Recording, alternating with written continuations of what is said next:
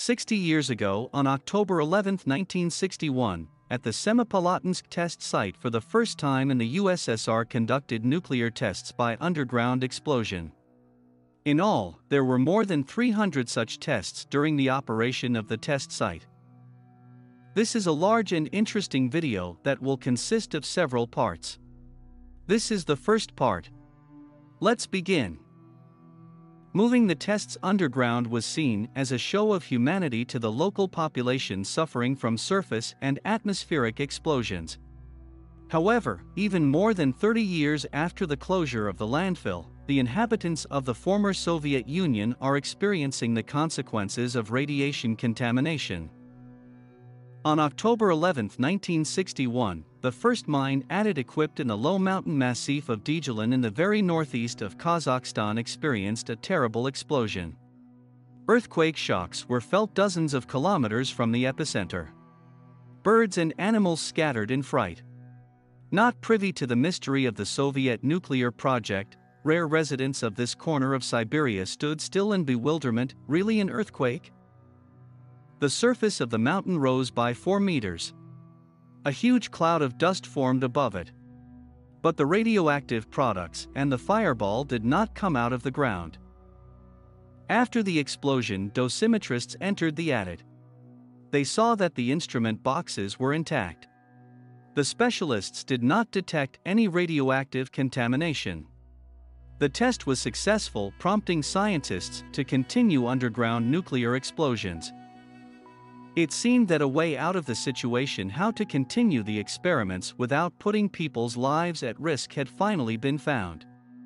The power of the first underground nuclear explosion in Soviet history was 20 kilotons. The power of the first underground explosion in the USSR was 20 kilotons. The news from the Semipalatinsk test site, STS, overjoyed First Secretary of the Soviet Communist Party's Central Committee Nikita Khrushchev, who wanted to surpass America on all fronts. Moreover, the Americans were the first in history to conduct underground nuclear explosions back in 1957. Actually, the Soviet government in 1958 declared a unilateral halt to all testing and intended to hold on to that line as long as the United States and Britain did. However, in September 1961, at the height of the Berlin crisis, the Soviet Union was the first to break its voluntary moratorium. At the same time, the country was completing the development of the world's most powerful thermonuclear bomb. Launched from an airplane over Novaya Zemlya on October 30, 1961, it was called the Tsar Bomba. And abroad it was nicknamed, at Khrushchev's suggestion, the Kuzkin Mother. 60 years ago, the Soviet Union was winning victory after victory in the nuclear arms race. And at the same time, the number of people affected by radiation was growing. Many of them learned only years later that they were doomed. Beria and dead rabbits. Khrushchev only reaped the fruits of the work of the best Soviet scientists led by Igor Kurchatov, skillfully converting them into political points. The basis of the atomic project of the USSR was laid by his main opponent Lavrenti Beria. Kurchatov succinctly described his role in the emergence of nuclear weapons in the Union. If it wasn't for him, there would be no bomb. In the center of Semey, former Semipalatinsk, and now stands a three-story Stalinist, which during his visits to the site stopped the Kremlin's little gray cardinal. There is even a carbine in the entrance, to which the guard dog was tied and next to it there was a guard booth. The closer the day of the first test came, the more often the curator from Moscow came to Semipalatinsk all tortured, sleepless, with bags under his eyes, in a ragged cape. It was rumored that due to his busy schedule and fatigue he which was rare for him did not pay attention to local girls. The Soviet leadership was concerned about eliminating America's monopoly on nuclear weapons after the US dropped two bombs on Japanese cities in August 1945. While the best minds of the country were working on the creation of the first atomic charge in a specially organized nuclear center, 170 kilometers west of Semipalatinsk they prepared a testing ground, up to. The site was chosen according to several criteria, a vast and virtually uninhabited area without agricultural land was required. According to initial calculations, the diameter of the required area had to be at least 200 kilometers and have at least some roads nearby, as well as the possibility to build a runway for transport planes.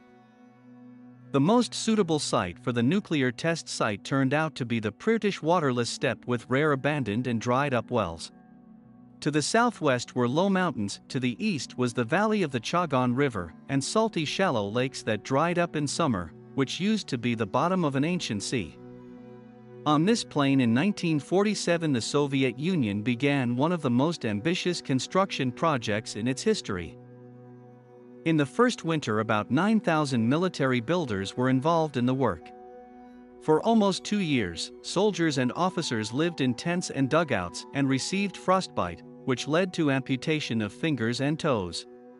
At the same time 60 kilometers from the range began the construction of a residential and administrative center now the city of Kurchatov in the East Kazakhstan region of Kazakhstan.